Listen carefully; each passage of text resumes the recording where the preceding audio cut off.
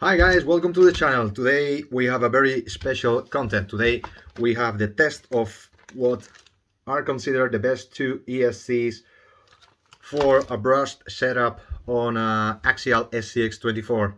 Today we have the Furitek Iguana Pro and the Modellbau-Regler ASX24. This is the new version they have specially made for microcrawlers and this is the best Furitek ESC for a brushed motor.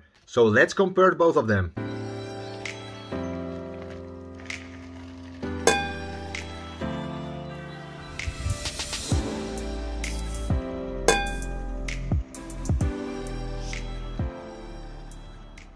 So here we have them.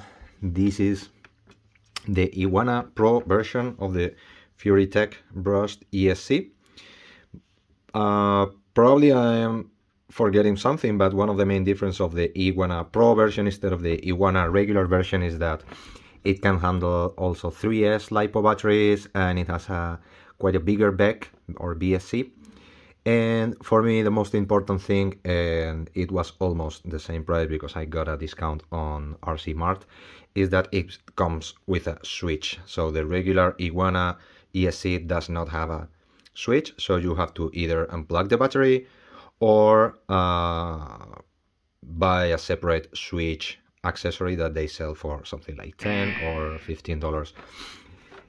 It comes with a heat shrink cover because as it comes it's totally exposed so you can use it but honestly i have not find it very very useful because you have to keep exits for these cables. Also for this one then you have to actuate the switch and you have so also from this side you have to open and also from the top you have to open it also. For those connections and in the end it's just probably covering a bit of those components of the hind but you have to open holes here here here and here. So in the end it's not protecting a lot. Um, of course then we have the Modellbau-Regler asx24 crawler which is their new product especially built for crawlers what we have seen in the past for the other ESCs that they had that were not specially made for crawlers was that it was really really good and smooth ESC. I actually manipulated this uh, after coming. So you can see in, all, in other images that it comes without connectors. So it comes with the cables but no connector whatsoever. Uh, they only have this uh, connector for the receiver and the battery plugs come also without the connector so they come I, I, added this JST connector and I added this switch to switch it on and off uh, instead of plugging on and off the battery. I know they always do that intentionally without a switch because the right thing to do is to unplug the battery if you are not using the vehicle uh, so you are not draining the battery or damaging your lipos etc etc so they wanted intentionally to do not include a switch in their ESCs anyway I found it more useful or more practical for me to put a switch and then of course I switch it. I disconnect the lipo every time that I'm not using the, the car. But if I'm moving from one spot to another I found it uh, practical to just to switch it on and off. As you can see, both have very, very small footprints. If we use this regular SCX24 Jeep Wrangler body as an example, you can see that the Model regular it's almost exactly the same size of the side window. And the Furitek, it's even smaller. So, But compare one to the other, they are really, really small. Doesn't make a lot of difference because you're gonna have more than enough space inside the car to uh, fit them where you want. And also they are both really really lightweight. Probably of course the Furitek can be a bit lighter but it's not making a significant difference. It's gonna be just a few grams so it doesn't make a lot of difference. One of the things that I don't like from the Furitek, and talking about the switch and how do you fit this system in the car is that even if it comes with a switch, something that the Model regular, as we mentioned, does not include, is a fixed switch that is in the board. So if you want to reach it from the inside without removing the, the body, you have to place it in a very accessible and exposed place, something like this or that. Otherwise, you will not reach this super tiny and annoying button, okay? So apart from that, both have very similar characteristics and uh, both are really, really well configured and offering optimal performance. Both can be used with 2S or 3S lipos. As I said in previous videos, I sometimes use 3S, sometimes I use 2S, but I have found that I don't need 3S in most of my applications unless I want an extra top speed or using very, very heavy vehicles. But otherwise, I think that putting the extra voltage and the extra power of a 3S LiPo uh, is cre can create a lot of stress in the transmissions and damage the car long term. Always when we are talking about microcrawlers.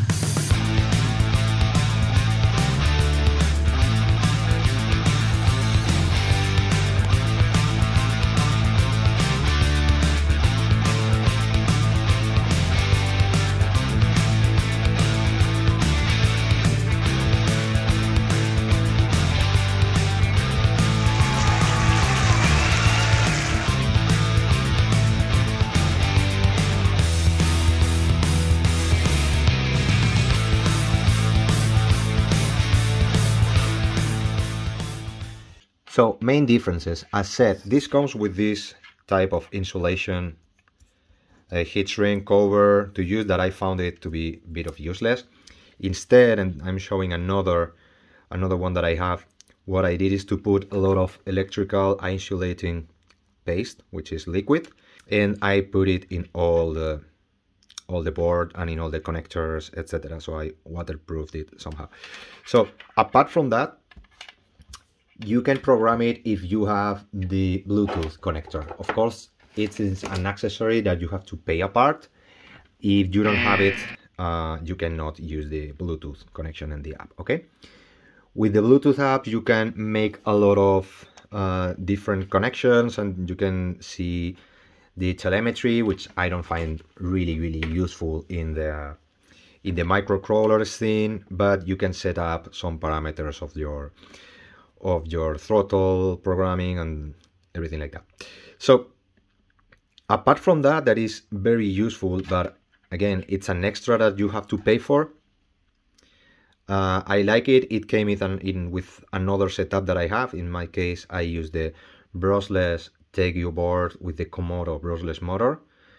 And I think that I can live without it. In the end, I only use it to calibrate the controller when I'm making something new and just configuring a bit of like if I want the motor to turn clockwise or counterclockwise and, and that's it.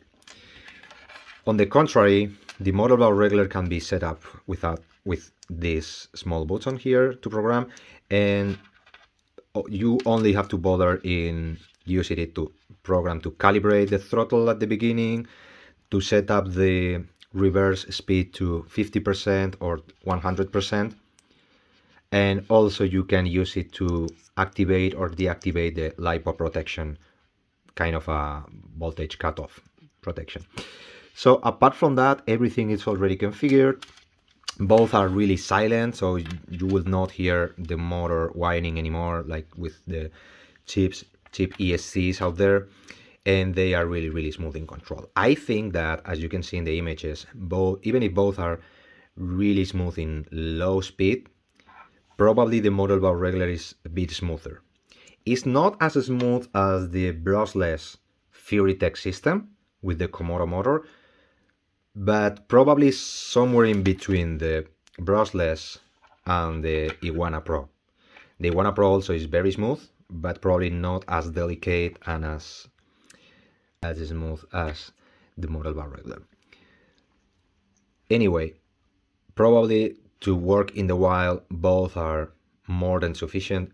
You never use the extra slowness of the brushless system in the in the tracks or in the nature in the wild. Probably yes, indoors or on, or in competitions, it can be very useful, but not here. So that being said, then we have to see how they work in those images. Huge modulation from big punch to really slow control.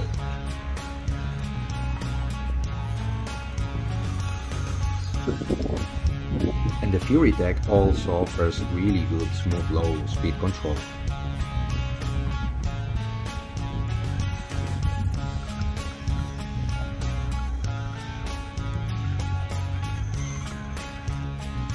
But in the end, I think that the Modellbau-Regler is the one that offers better balance and transitions between the punchy moments and the delicate situation to combine slowliness and really good torque.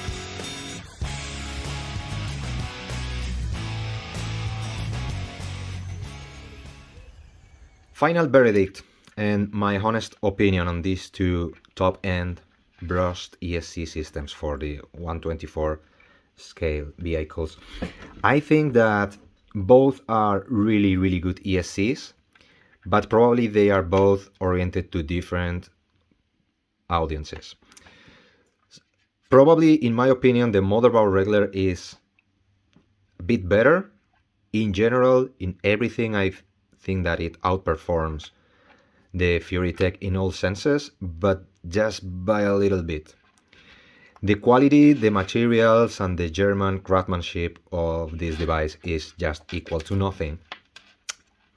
But probably it's more of a product for the builders and for the advanced user because you have to solder the connections, you have to add a switch if you want, you have to put your own connectors here, etc. I know that the good news is that Modellbau-Regler is already working in a new version of this Basically, it's the same product, but with the connectors in the wires for specifically made for the Axial SCX24 like this of the Furitek.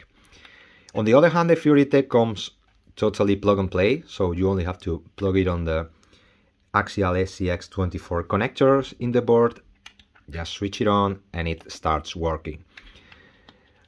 It's more user friendly, you don't need to solder, you don't need to adapt anything, you have a switch. It has also the LiPo protection or cutoff voltage for safety of your batteries. But it's also a bit more expensive. And even if the materials are good, I think they are not as good as in the Modellbau-Regler. So, what do you think? What do you prefer? Do you have any experiences with any of them? Just leave it in the comments. Thanks a lot.